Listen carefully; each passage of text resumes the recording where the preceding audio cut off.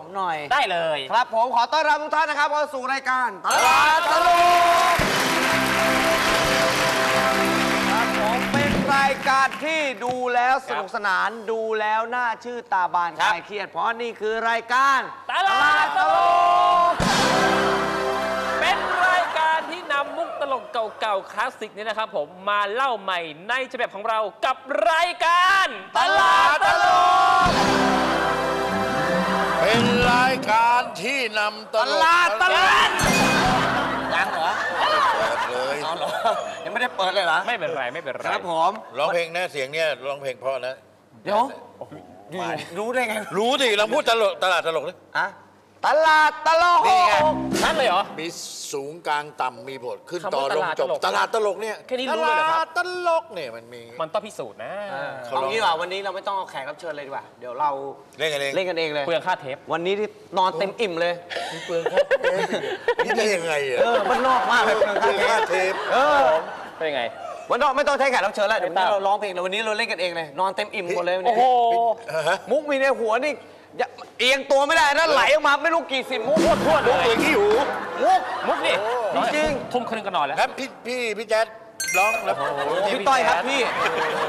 พี่ต้อยมันไม่ได้นะพี่นะเดี๋ยวผมไปร้องเพื่อนนะกันไงเรียกใหม่ดีกว่าเรียกใหม่ฮะเพื่อนต้อยเออเพื่อนเพื่อนต้อยแจ๊ดไปไต่เออ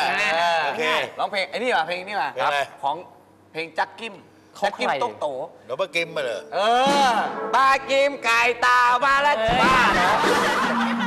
จักกิ้มจักกิ้มแว้งมาแว้งมาแป้งเลแว้ยงเหรอแว้งเหรอจู่ๆมันก็หันมายิ้ม แล้วบอกว่ามีจักกิ้มโต๊ะโตอยู่ในห้องนอน ไอเราก็ไม่รู้มาก่อนว่ามันอยู่ในห้องนอนนั้นมันคืออะไร เพื่อนมันก็บอกพอมาบอกก็รีบออกจากห้องไป อยู่ร้องไหมอะ ร้องต่อดีกว่า อ่า นี่เล่นอะไร มันมันไม่ใช่เรื่องเลยเนี่ย เออ จะร้องเพลงแล้วอะไรมาตีผมทำไมเนี่ยเอ้าตีอะไรอะเรื่องอะไรกัน เจ็บเลยนะอาตีไม่อะรู้ตีดิเบาๆ ก็กำลังอย่างนี้เลยอะกำลังอะไรเพื่อน สาวป่าตอกอยู่เลยเนี่ย ไม่ใช่ ถ้าจะตีหัวตีอะไรก็สะกิดบอกดิที่หลังตีอะไรอะน้ำแล้วตีผมเขาเหรอ ผิดอะไรอยู่อามาตีผมเนี่ยเอ้าน้ำตีอะไรอะ โอ้คุณต้อยคุณเกินไปบางทีอยากคุณบอกผมก่อน ผมไม่รู้ผมอยู่ริมด้วยผมไม่ไม่รู้เรื่องอะไรเลย อยู่เออริม มันจะไม่ใช่ เล่นมุกกันจะมาตีหัวตีเหิน ไอ้จบเพลงก่อนแล้วก็มีเออ มีตัดแล้วค่อยตีกันใช่ไอ้อีกสักรอบหนึงฮะ จู่ๆมันก็หันมายิ้ม บอกว่ามีจักเกมกับโต๊ะโตอยู่ในห้องนอน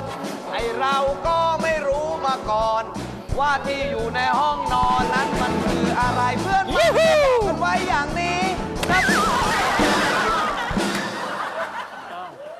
มึงก็เต้นไม่ได้ดูอะไรกูเลยนะ เรื่องอะไรกันวะเพื่อน เนี่ยอะไรของอาเนี่ยเอ้า มันใช่เรื่องไหมเนี่ย มันเล่นอย่างเงี้ย นี่เหลือเลยเนี่ยเหลือเลยเนี่ยเหลืออะไรเหลืออะไรมันโมโหแล้วเนี่ยอะโมโหแล้วเนี่ยอยู่ๆมาตีลูกผมก็ร้องเพลงอยู่เนี่ยอาเออลูกกาลัดเนี่ยเนี่ยไม่หยุดไงไม่หยุดตลอดบ้า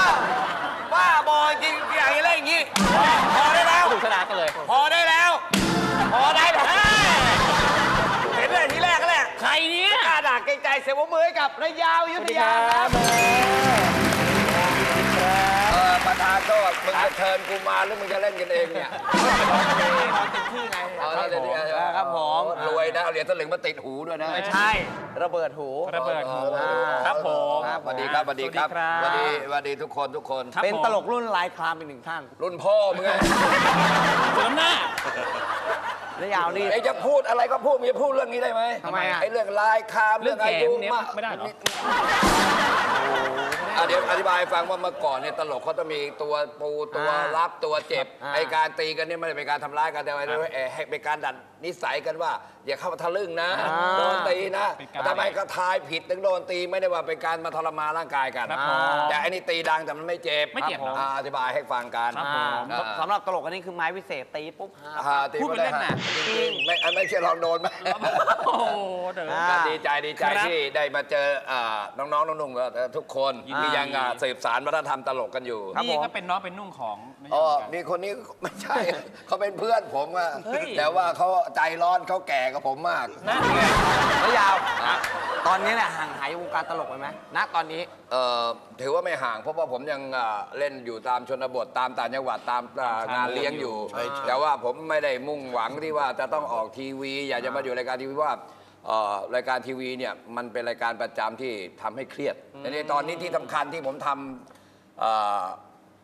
ทำอย่างจริงจังคือเดินทางช่วยเหลือศิลปินผู้ยากไร้ดีมากพวกเราเนี่ยเป็นคนที่อาชีพเต้นกินลำกินเราไม่มีเงินเดือนครับยามดังละตังก็มีถูกยามลงจากเวทีก็ไม่มีสตังค์ครับ บางคนตายไปแล้วแม้แต่โรงจะใส่ตัวเองก็ไม่มี นี่ผมก็เดินทางช่วยกันมาตลอด อ่า โดยที่ ส่วนหนึ่งเนี่ยที่รายได้ได้มาเนี่ยเราก็จะเอาไว้ใช้ส่วนตัวบ้างเป็นแต่แล้วก็ที่เหลือก็ช่วยการกุศลอ่าช่วยการกุศลช่วยศิลปินยากไร้เอ่อเอ่อไม่ไม่ตอนเนี้ยพวกคุณกำลังดังกำลังมีตังค์ครับเฮ้ยเดี๋ยวเดี๋ยวเอ่อเดี๋ยวแต่ว่าถ้าต่อไปเนี่ยอีกสักห้าปีสิปีคุณไม่ออกจากแน่วงการไปเนี่ย ไม่แน่ ใครจะรู้จักบ้างใช่เพราะเดี๋ยวนี้ศิลปินเกิดง่ายแล้วตายง่ายแล้วคือว่า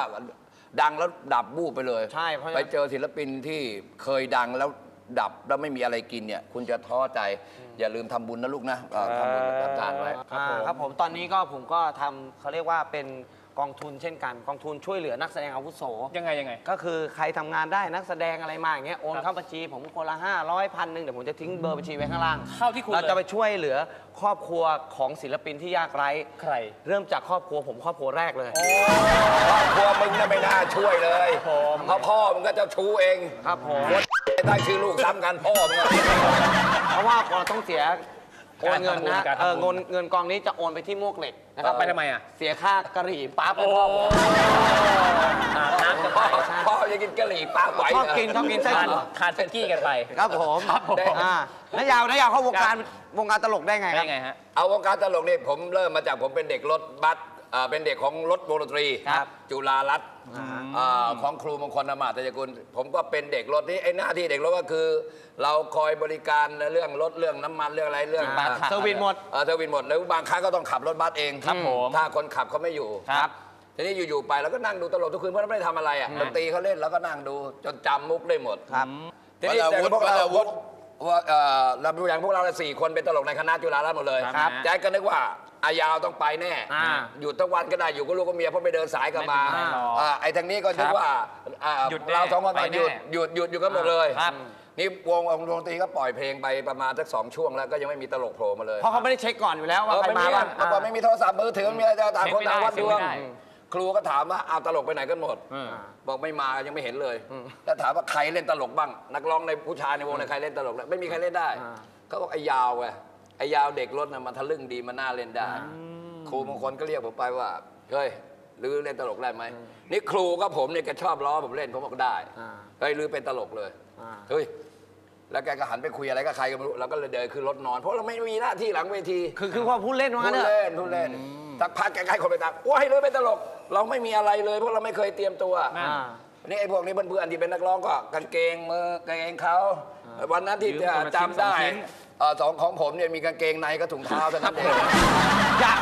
ถามจริงว่าอยากขึ้นไหมอารมณ์ตอนนั้นอยากขึ้นไหมมันไม่อยากหรือว่าขึ้นก็ได้ไม่ขึ้นก็ได้ ไม่เป็นไรไม่ได้อยากเดียวเพราะเรามีงานมีการทำเราไม่อยากเล่น อ่าเราไม่อยากเป็นนักแสดงเพราะว่าตอนนั้นเขาก็ยังแข่งขันกันนะในวงอ่า คนก็จะเป็นเขาบอกต้องขึ้น เพราะว่ามันเพลงมันปล่อยไปเยอะมันมีตลกเราก็จำมุกคนเก่าเขาเล่นน่ะอ่าแล้วก็เล่นแบบเขาเลยอัดเทปเป๊ะ เป๊ะเลยฮา ทุกคำเลย โอ้ฮาทุกคำนะขนลุกใหญ่เลยเอ๊ะครับทำไมผมทำไมฮาใหญ่ฮะ แล้วว่าคนที่เขาปูเป็นตัวปุ๊บแล้วเฮ้ยมันเล่นดีกับไอ้ตัวเก่าอย่างเงี้ยนะโอ้โหเป็นเรื่องเลยเป็นเรื่องเลย พอเลิกเสร็จปั๊บค่าตัวเมื่อปี 2511อะเท่าไหร่ 60 บาท โอ้โหเยอะนอนไม่หลับเลยกลัวตังค์หายเต็มกระเป๋าเลย เออเต็มกระเป๋าเลย60 บาท เอายางมัดเลย มัดไว้เลยเดี๋ยวหายเดี๋ยวคนหายคนไม่เคยมีเงินเยอะตอนนั้นนะข้าวจานละ 2 บาทอ่าตอนนั้นเออเออเลี้ยง 50 ตังค์ เหลือเพียบเลยเออทองบาทละ 450โอ้แล้วได้ 60 บาท คิดดีจะเดินงานเต้นแรก ค่ารถไฟจากยามากรุงเทพน่ะ4บาท 50นี่ไปนิวยอร์กได้ได้เลย40 บาทเนี่ยหกสิบบาท60บาทอ่าก็เลยจะได้บอกวันที่สองครับ โอ้โห มากันเพียบเลย อ่า วัดเทวสุนทรบางเขนตลกมากันเต็มเลยมาให้เราออกแล้วนั่นน่ะสิ เออคนโน้นก็มาเล่นคนนี้จนกระทั่งครูบางคนมาถามอายาวลืมไหมไม่ออกอะ อืม ไม่รู้เขาไม่เรียกผมอืม เฮ้ยหรือต้องเรียกมันออกแล้วนู่นไปออกกับเลิกแล้ว แต่เราก็ได้เล่นมาครับ เอาความพยายามได้เล่น เล่นเป็นตลกแล้วใครซื้อตัวไปเล่นตลกคาเฟ่ตอนนั้น เอ่อพี่จิ๋มพี่จิ๋มก็บอกว่ามึงอย่าอยู่วงลูกทุ่งเลยอยู่ไปก็ไม่ตั้งตัวไม่ได้หรอกมาตั้งทีมเล่นคาเฟ่ดีกว่า มาเล่นวันแรกนะครับตัว 600 ทั้งคณะ แบ่งคากันเฟ่เมื่อก่อน600 เต็มที่แล้วเยอะมาก เออแบ่งกันคนเท่าไหร่นะยาวประมาณ ซื้อจีก็ช็คอปนได้ละเลคนยสี่คนละคนละร้อยห้าสิบครับผมแบกระนาดแบกกองขึ้นรถเมย์อ่านนทมติว่าป้ายหน้าคาเฟ่ใช่ไหมครับลงปตรงนี้เลยสองป้าย แล้วก็ทำไม เดินไปบอกรถเสียเขาอยากให้รู้ว่ามารถเสียกองไว้ก่อนกองไว้ก่อน มุกที่ได้ประจำเลยนะฮะ เห็นบอกว่ามีมุกเยอะมากเมื่อก่อนนี้ เยอะจนแบบว่า มันจำไม่ได้อะไรมุกว่าแต่เยอะไม่เยอะเพราะมันเล่นต้องเปลี่ยนทุกอาทิตย์อะเมื่อก่อนเล่นคาเฟ่อะอ่าต้องเปลี่ยนต้องเปลี่ยนต้องคิดคิดคิดแล้วผมเป็นตลกที่ไม่ไม่ชอบเล่นมุกซ้ำอะครัก็บต้องคิดกันอยู่ตลอด แล้วบางทีก็เล่นปัจจุบันทันด่วนเล่นทันเอ่อทันเหตุการณ์ทันยุคทันเหตุการณ์ทันยุคเลยทันเหตุการณ์เลยบางทีก็ผมไม่ไม่ไม่ได้ แล้วอยู่กับเทพโพงามเนี่ยครับ เล่นซ้ำไม่ได้ เล่นมุกเก่าไม่ได้ โดนบ่นเลยล่ะ โดนบ่นโดนด่าเขาจะตาครับขวางบางคิวทีไม่ได้แปดเลยบางทีปูมุกอะไรเก่าๆให้ไม่เล่นด้วยเลยเออไม่เล่น ครับ แล้วก็เขาจะเป็นเป็นคนแปลกเขาจะไม่ชมคน อ่า แต่ถ้าเกิดว่าเราเล่นปั๊บเนี่ยเขาขำหรือก็เราคนหาปั๊บเนี่ยถ้าเราไม่เล่นเขาจะมาด่าเราอีกนั่นน่ะ เออเขาจะให้อะไรเลยทำไมไม่เล่นมุกนี้ ดีไม่ชมแต่ว่าพลาดมาโดนโดนเลย แล้วเขาจะไม่บอกว่ามุกเนี้ยจะเล่นยังไง แต่ถ้าเกิดว่าอย่างพี่เทพเนี่ยผมอยู่กับพี่เทพเนี่ยจะครับสังเกตว่าผมจะเดินเฉียวหลังพี่เทพบ่อยๆครับเพราะว่าถ้าเขาเขาอาจจะพูดว่าพรุ่งนี้เราไปกินข้าวกันนะจ๊ะที่รักครับแล้วเขามันจะฮาผมก็จะเดินผ่านหลังพี่เทพอย่างนี้แล้วบอกว่าพรุ่งนี้กินข้าวกัน แล้วพี่เทพก็จะเล่นเลยอ๋อเอ่อเอ่อเขาจะรู้เลยว่าผมให้เขาเล่นมุกนี้ ครับ แล้วจะสังเกตว่าผมอยู่เทพโพงามเนี่ยจะเดินไม่ไกลจากเทพโพงามเพราะผมจะเป็นสมองให้เขาเป็นความจำให้เขาแต่พี่เทพจะไวมาก ไวมาก พอได้ยินปั๊บนี่ก็จะมีทั้งคำพูดและ acting ออกไปเลย นี่นี่คือเทพโพงาม นี่คือระดับอาจารย์ของเราอีเอกหนึ่งคนอครับเลยเพราะว่าแล้วจะไปบอกว่าพรุ่งวันนี้เราเล่นมุกนี้ได้ไหมเล่นนี่นะอย่างงี้ครับ อย่าไปบอกเขาเลยอย่าไปเลยไม่ให้แต่ถ้าอยู่ๆปูเข้าไปเลยโดยเขาไม่รู้เนี่ยครัเขาบจะเล่นเต็มที่เลยแล้วเขาจะบอกว่ามันเอาอะไรมาเล่นบ้าไอ้เออแล้วมันเป็นอะไรเนี่ยมึงมุกเมื่อวานเนี่ยขำทำไมไม่ปูเข้ามาเอาวเราผิดอีกแล้วครับผม คือคืออยู่กับพี่เทพต้องอย่างนี้อยากจะต้ลองเล่นมุกของน้าเข้ามาแล้ว อะเอออยากจะลองใช่ไหมดูอยากจะลองดูเนื้อยาวเนี่ย เออ ถ้าในคณะเนี่ยเนื้อยาวก็เหมือนตัวปูใช่ไม่เหมือนละตัวปูอ่านี่เป็นตัวปูในมุกเอาไงดี คอยคุมเกมทุกอย่าง เมื่อก่อนอยู่พี่เทพเนี่ยครับมีคนถามว่าผมเนี่ยอยู่ทำไม ครับ ไม่มีคนจะได้รู้ตลกไม่เข้าใจอะอ่า มาทำอะไรไอ้คนนี้เป็นผัวอีน้อยโพงามหรือเปล่า เทพโพงามถึงเรียกไว้ครับสวัสดีครับพบกับคณะเทพโพงามวันนี้เราก็ได้มาเสนอเรื่อง จันทโคลบปึ้งแล้วเราก็เดินออกเลยไอ้พวกนั้นก็เล่นไปฮะ พอก็ วันนี้พบกันแค่นี้ครับ โอกาสหน้าไว้วันดีครับ มาแค่นี้เอง แค่นี้เอง เปิดกระปิดหัว ปกติคณะคือเขาต้องยืนยาวเลยนะคืออย่างอาทิตย์ละเราแบบเขาเล่นแล้วไงครับเอ่อเรื่องเดินแล้วเราก็คอยบอกว่าเฮ้ยฟันกันตรงนี้เฮ้ยแทงไอ้นี่ตายคอยเฮ้ยเร็วเขาสะกิดข้างหลังเฮ้ยเร็วๆเขาตัดเวลาเวลาครับผมตลกอื่นมาโชว์คอยคุมเวลาด้วยคุมเวลาโอ้โหต้องต้องคอยบอกเฮ้ยทุกอย่าง ตัดตัดมุกนี่อย่าเล่นเออเดี๋ยวเดี๋ยวไปเล่นคราวหน้าเร็วๆเหลือยี่สิบนาทีแล้วคือจะเป็นคนอย่างนี้ ครับผมเวลาประมาณนะนั้นประมาณนั้นเอางี้ดีกว่า เดี๋ยวเรามาเล่นตลกแล้วให้ได้ยาวเนี่ยเป็นคนปูมุกให้พวกเราเล่นได้สิเออวันนี้เป็นตัวดิ้นหมดเลยเนี่ยทุกคนเลโอ้ยยได้ได้เอ้ยทำไมผีเข้าเหรอเป็นดิ้นกันต้องเอตัดอเอขาอดเอาโอเคได้ได้ได้ได้นะครับอ่าถ้าได้แบบนี้ อะ เอาละครับ เดี๋ยวเรามาดูกันว่าครับมุกตลกที่เราจะเสนอให้ท่านได้ชมกันจะสนุกสนานขนาดไหนนะครับผม เดี๋ยวช่วงหน้า สักครู่เดียวครับ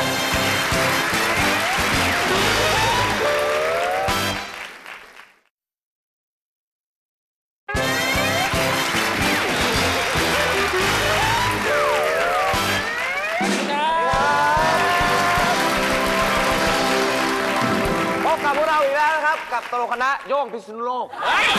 ใช่ไอ้ยาวอยุธยาครับทำไมพูดอย่างนั้นล่ะพี่ดมของน้องจำผิดชื่อคล้ายๆกันแหมเดี๋ยวให้มาดมของพี่ซะเลยอ่าอ่าเดี๋ยวก็มีหลายคนเคยถามว่าแหมกินน้ำพริกแล้วอร่อยนะบอกเออเรื่องของมึงคนละคนกันแหมจำผิดเออวันนี้เราก็มากันที่วันนี้คณะยาวิยาก็มาพบกับท่านอีกแล้วนะครับ แต่ว่าวันนี้ไม่ได้มา ธรรมดาผมจะมาหานักร้องสักคนหนึ่งเพราะว่าตอนนี้สายันธัญญาก็ตายยอดรักสลักใจก็ตายกลางอาการแก้วสุภาก็ตายก็เลยไม่มีตัวนักร้อง และใกล้ตายอีกหลายคนนะครับ หรือว่าผมอยากจะหานักร้องลูกทุ่งที่รูปหล่อๆสักคนถ้าใครรู้ตัวเองว่ารูปหเฮ้ยล่อ เฮ้ยผมเฮ้ยผมเฮ้ยผมเสียงดีมาก ผมเสียงผมดีคนมากแรกครับผมขอก่อนเลยผมนี่ร้องผมดีขอมากก่อนคนแรกใครเพาะรู้ผมตัวว่าเสียงดีหน้าตาดี มีแววว่าจะเป็นนักร้องได้เนี่ยผมมีรางวัลให้ โอ้โอ้โหใครร้องเพลงกระทงหลงทางได้เนี่ยถ้ามีเสียงปรบมือนี่ผมจะให้ห้าพันโอ้ยห้าพันแต่ถ้ามีเสียงกรี๊ดเอาไปอีกห้าพันเป็นหมื่นหนึ่งโอ้โหอ่า ถ้ามีเสียงปรบมือด้วยกรี๊ดด้วย เอาไปอีกห้าพันเป็นหมื่นห้าปะทาพี่ขึ้นร้องได้ไหมโอ้โห ผมนี่สุดยอดเลย ผมเคยชุมทางเสียงทองผมออกมาแล้ว โอ้โหนึกว่าชุมทางบ้านภาชี จะไปทำไมครับโอ้โหเออร้องได้ไหมร้องได้ครับเออก็ไม่ต้องร้องอ้าวเดี๋ยวร้องได้ไหมผมร้องก่อนละไม่เอาไม่เอาร้องได้ป่ะไม่ได้งั้นไม่ต้องร้อง ร้องได้ไหมได้ เอองั้นมาร้อง อ้าวผมก่อนสิ นี่นี่ต้องเอาเอารุ่นนี้ไว้ก่อน เอาก่อนเหรอ เอาอย่างงี้ใครจับไมค์ก่อนคนนั้นร้องก่อนอะเตรียมตัว กระทงหลงทางนะครับท่านผู้ชมช่วยให้คะแนนด้วยนะครับ ใครมีเสียงปรบมือเอาไปห้าพันมีเสียงกรี๊ดเอาไปอีกห้าพันมีทั้งปรบมือทั้งกรี๊ดเอาไปอีกห้าพันเป็นหมื่นห้าจะไป คนแรกเลยอะได้เลยคนแรกไวกว่าใครเลยหมื่นห้าเพื่อน ร้องดีมีเสียงปรบมือ ห้าพันมีเสียงกรี๊ดเอาไปอีกห้าพันมีเสียงปรบมือด้วยเสียงกรี๊ดด้วย เอาไปอีกห้าพันโอ้โห เป็นเท่าไหร่นะหมื่นห้า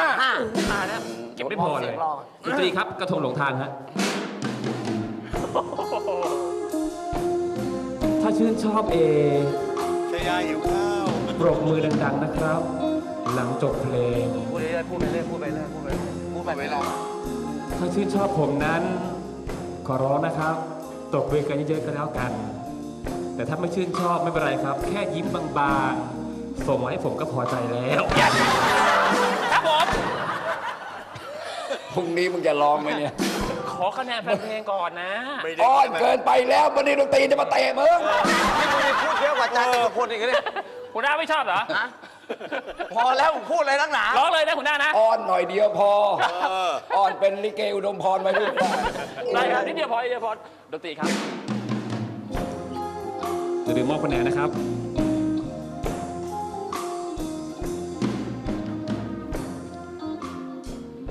เป็นลางสังหรณ์ไม่ต้องละลอยกระทงสายน้ำไหลเชี่ยวไหลส่ง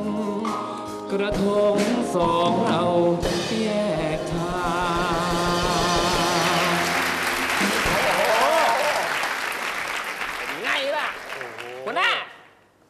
คะแนน นี่ร้อง โอ้โหสุนัขไม่รับประทานอะไรนี่ทำไม แปดคะแนนทำไมอะเขามีเสียงปรบมือเขามีเสียงปรบมือให้ตามเสียงปรบมือเขาได้ 8 คะแนนหมื่นห้าได้เลยอยากได้ให้รับคะแนนไปก่อนรับคะแนนไปก่อนขอคะแนนก่อนเลยครับผมอยากได้ตังค์ตอนนี้ เชิญครับครับ ได้กี่คะแนนครับ ก้มหัวมาเลยครับ รับคะแนนเลยครับรับคะแนนก้มหัวครับ ก็ผมเป็นผู้ใหญ่กว่าคุณก็จะรับต้องให้เกียรติผมหน่อยให้เกียรติโอ้ยอย่างนี้แปดคะแนนโอ้โหยคะแนนหน่อยครับ หนึ่งสองสามสี่ห้าหกเจ็ดแปดอันนี้คะแนนอะไรอะคะแนนสะสมครับ มันจะตีหัวเลยหัวหน้า อย่าลืมนะครับ ถ้ามีเสียงปรบมือเราจะให้5,000 บาท ถ้ามีเสียงกรี๊ดด้วยเราให้อีก โอ้โห 5,000ทั้งปรบมือทั้งกรี๊ดอีก 5,000 นักร้องคนต่อไป มาเลยมาเลยเพื่อนมาเลย อะไรอะมีปัญหามาร้องเพลงอะไรไอ้เนี่ยไอ้เล่าอีกวะ บ้าเปล่าร้องเพลงหน่อยสิอะไร ได้คะแนนหน่อยไม่เอาไม่ร้องเพลงเหรอหมื่นห้าเสียงแห้งฮะเสียงแห้งพกเสียงแห้งเลยไม่เป็นไร เสียงแห้งกูตายไม่เป็นไรกูชอบ เฮ้ยได้ชอบไปร้องเลยไปร้องเลยไปร้องเลยบ้าปะเนี่ย เอาหน่อยเอาหน่อยนะหมื่นห้าเชียวนะร้องดีมีเสียงปรบมือ5,000มีเสียงกรี๊ดเอาไปอีกมีเสียงกรี๊ดด้วยปรบมือด้วย5,000อีกท่านผู้ชมที่กำลังชมรายการอยู่นะครับ หรือทุกท่านที่อยู่ในสตู ไม่ว่าจะเป็นผู้จัดผู้จัดไฟนะครับตากล้องนักดนตรี ถ้าชอบผมรักผม ไม่ต้องปรบมือ5,000อ้าวคิดซะว่าผมเป็นคนที่อยู่คนละหมู่บ้านกับท่าน ไม่ต้องมาเชียร์ไม่ต้องมาสนับสนุนอยู่เฉยๆนะครับ ใครตบผมต่อย เดี๋ยวเต้ เป็นลางสะหอนเมื่อตอนวันลอยกระทง สายน้ำไหลเชี่ยวไหลส่งกระทงสองเราแยกทาง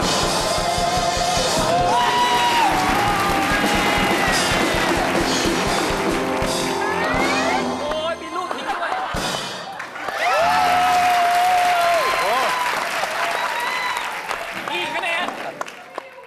พ13 คะแนน โอ้ยได้เยอะชนะ เยอะกว่าแปดอีก ไม่ชอบเหรอ เพราะตรงไหนเนี่ย อ้าว ทำไมอะ จับมาทีจับมาทีไปจับมาทีเลย เออหนึ่งสองสามสี่ห้าหกเจ็ดแปดเก้าสิบสิบเอ็ด หัวหน้าตีผิดสิบสอง คะแนนอย่างนี้สิบสามว่าไงคะแนนตีผิดนะครับ ถูกไหม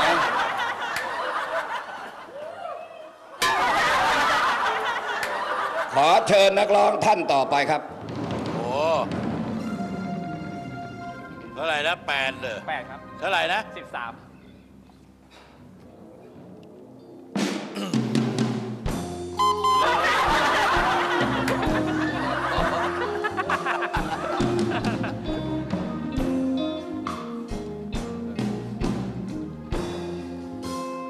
เอ๋ยเป็นลางสังหรณ์เมื่อตอนอยู่หนาอยู่ คนเดียวแสนเปลี่ยวลา โอ้ฉะไหนหนากระทงถึงได้หลงทาง เสียกระเสาเสียกระเสา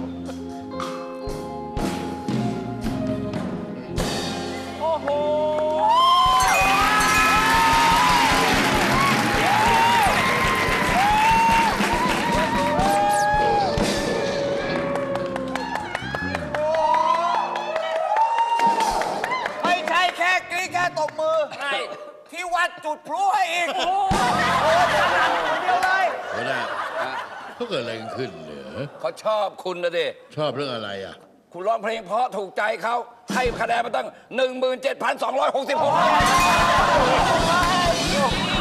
โอ้ยนี่สองเทปยังตีไม่หมดเลยเนี่ยคะแนนอ่าอันนี้ก็เป็นมุกที่ปูให้ชาวคณะได้เล่นเป็นที่สนุกสนานกันครับครับอ่าเพราะว่าตอนนี้สมัยนี้ประการประกวดร้องเพลงมันมีกันเยอะแล้วก็เอาการร้องเพลงมาล้อเลียนเขาครับผมอ่าแล้วเอาเพลงแล้วขอบคุณเจ้าของเพลงกระทงหลงทาง อ่ากุ้งสุธิราชวงศ์เทวันไม่ใช่ให้กูเล่นมันที่เลยได้ก็ก็ขัดได้แล้วนี่ไงครับวันนี้ต้องขอขอบคุณอายาวอยุธยาด้วยครับครับผมอะตอนนี้ยังรับงานอยู่ใช่ไหมฮะยังรับงานอยู่รับงานการเลี้ยงอะไรคือคนหาผมเนี่ยก็อย่างที่ว่าพอผมได้บ้างแล้วก็แบ่งไปทำบุญกันบ้าง เพราะว่าตอนนี้ศิลปินจริง ๆ มันแย่จริง ๆ ครับแล้วว่าเอ่อเมื่อก่อนที่ผมเอ่อ มื่อตั้งหลายปีที่ผ่านมาเนี่ยป้าต๊อกเรียกเราไปที่บ้าน พวกเราตลกเลยบอกว่า อย่าทิ้งอาชีพนี้นะ เป็นอาชีพที่มีกุศลทำให้คนในหัวเราะ แต่ต่อไปจะหากินกันยากหน่อยอ่าก็ต้องรักษาอาชีพนี้ไว้ขอให้เอ่อน้องๆทุกคนก็รักษาอาชีพนี้ไว้ ครับผมเพราะว่ามันจะไม่ทำให้เรารวย แต่ก็ไม่เราเป็นลูกพ่อแก่ก็จะไม่ให้เราอด นะครับอ่าเราก็ไม่อดนะแล้วครับก็ผมแต่ว่าอย่าหยาบคายอย่าเอาเบื้องสูงมาเล่น อย่าเอาชาติศาสนามาเล่น ครับผม แล้วก็อย่าเล่นให้ตาตาต่ำกับสะดือลงไป มันจะไม่ได้ศิลปะการแสดง ครับ อยากจะฝากอ่าศิลปินทุกคนนะครับ ในนามของผมยาวหยาสวัสดีครับฮะติดต่องานไหมกูลาเลยฮะมาแล้วอะนะเขาเออไม่ใช่ว่าเบอร์ติดต่องานลาเลยเขายังไม่ได้เบอร์ติดต่อเลยเอาหน่อย เผื่อเขาจะได้ทำบุญด้วยได้ดูตลกด้วยศูนย์แปดเจ็ดสามเจ็ดศูนย์แปดศูนย์เก้าแปดเบอร์ที่ใช้ประจำอยู่เออในทาง Facebook ก็มีครับผม เอ่อในในในเพจเขาเรียกแฟนเพจ เออแฟนเพจก็มีนี่เพื่อเฮ้ยเอ้ยเอ้ยมึงช่วยกูได้ไอ้พวกนี้ไม่เป็นเลย เดี๋ยวจะมีถ้ามีกระเทยกระเทยเข้าไปทักด้วยนะ พี่ยาวจริงหรือเปล่า นั่นทำไงล่ะ ก็ยาวถึงอยุธยาไงโอ้อะกระเทยท่านไหนชอบพี่ยาวนะครับผมพี่ยาวเลยครับพี่ยาวเลย พอได้ครับวันนี้เวลาหมดลงแล้วครับพบกันใหม่กับรายการตลาดตลกครับทางช่องเฮฮาครับเวลา2ทุ่มวันพฤหัสนะครับคผรับ มวันนี้หมดเวลาลงแล้วต้องลาไปก่อนอะพูดสวัสดีครับ สวัสดีเลย สวัสดี สวัสดีครับ